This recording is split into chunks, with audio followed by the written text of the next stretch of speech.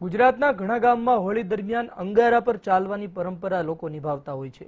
કેટલાક તેને આસ્થા સાથે જોડે છે. તો કેટલાક તેને અંધશ્રદ્ધા કહે છે. આવી જ પરંપરા સુરતના ઓલપાડના સરસ ગામે હોલિકા દહન કરતા પહેલા ગામના યુવાનો, બાળકો નિભાવતા આવ્યા છે. હોળી દહન બાદ ધગધગતા અંગારા પર બાળકો, યુવાનો અને વૃદ્ધો ખુલ્લા પગે ચાલે છે અને દોડે છે. પણ આજ દિન સુધી કોઈ દાઝ્યું નથી. આ પરંપરા વર્ષોથી ગામમાં ચાલી આવી છે. અંગારા પર ચાલતા યુવાઓને જોવા માટે સુરત શહેર તેમજ આજુબાજુના વિસ્તારોમાંથી હજારો લોકો ઉમટે છે. અંગારા પર ચાલતા લોકોને જોવા માટે આજુબાજુના ગામડામાંથી પણ લોકો ઉમટતા હોય છે. અંગારા પર ચાલતા લોકોને જોઈ તેઓ ધન્યતા અનુભવતા હોય છે.